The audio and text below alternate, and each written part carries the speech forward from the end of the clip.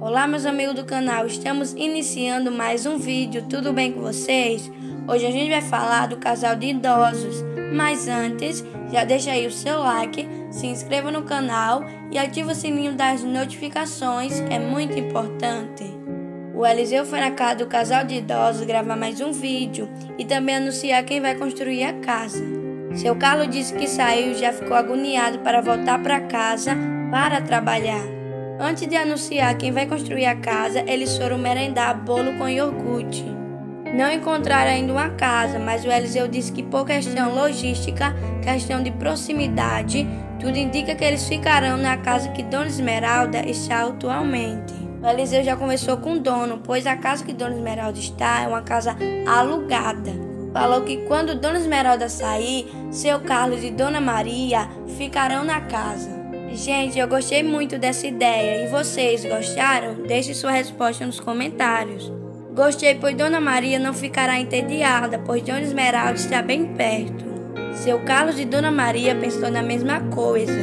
Seu Carlos já foi visitar a obra de Dona Esmeralda, então ele já sabe que é bem perto e todos os dias eles poderão estar no terreno.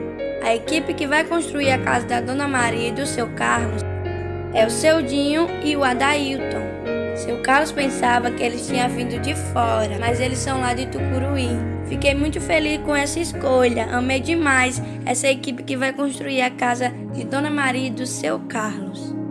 É uma equipe excelente e que vocês gostam muito. O Eliseu explicou que quando vão terminando as construções, aquele que vai terminando tem a preferência do trabalho, e a preferência seria o pedreiro João. Mas na entrega da casa da deusa, ele informou que irá trabalhar em outros projetos. Seu Dinho já fez uma análise do terreno e falou que o melhor local para construir a casa é onde a outra casa está, pois ele falou que é um lugar mais plano. Gente, já quero agradecer o Eliseu e a sua equipe por estar sempre pensando no melhor para o seu Carlos e Dona Maria e também pensar no melhor para as outras famílias.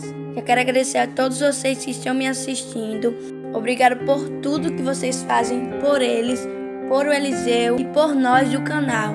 Gente, vocês gostaram da equipe que o Eliseu escolheu para construir a casa de Dona Maria e do seu Carlos? Deixe sua resposta nos comentários. Pessoal, foi esse o vídeo. Até o próximo!